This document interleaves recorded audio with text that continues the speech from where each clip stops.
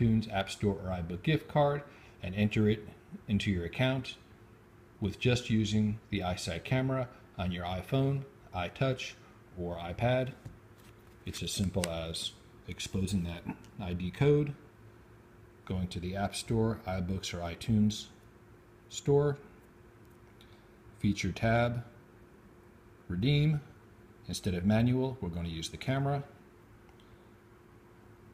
It finds it, scans it, credits it to your account instantly. Of course, this card has been previously used. Otherwise, you're good to go. Hope this was helpful. Subscribe.